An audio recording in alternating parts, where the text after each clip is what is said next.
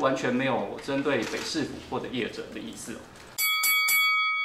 台北市办的牛肉面节哦，今年冠军用的就是莱克多巴胺的美牛。这边简列了大概有十多种项目，它的呈现都是未检出的项目。谢谢谢谢。除了赶紧致歉，还拉上民进党立委罗志正一起到冠军店家收费。但是下定一百碗牛肉面要三万九千元，购买证明还打上统编号码。啊，我们觉得呃已经知过能改，善莫大焉。